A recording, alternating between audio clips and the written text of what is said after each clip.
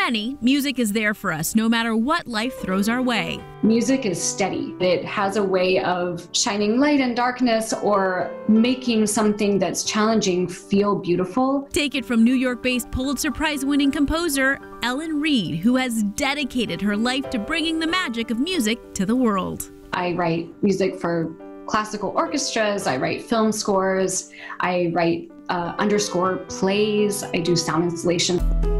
And a few years ago, while jogging, she got an idea for a new project. I just was overwhelmed thinking about how how much my running route meant to me and how many people it held the same weight for. And that's how the Soundwalk app was born. It's an immersive GPS driven public art project where you hear original music that was written to enhance your Central Park experience. What you do is you download an app, you put on your headphones, and you walk into Central Park.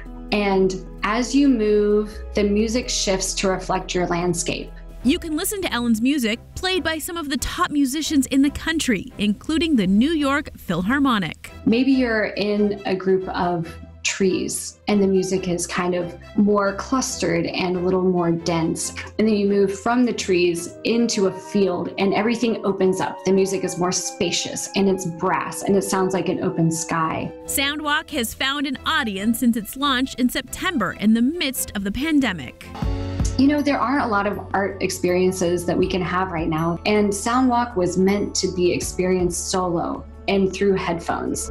She has realized how much the solo walk through the park has helped people coping with all the uncertainty. The feedback is like, thank you for doing this. I needed this. This brought me mental space and this connected me to positivity I haven't felt in months. And that's just amazing. This project will be in Central Park for three years and she hopes to bring Soundwalk to other locations in the new year.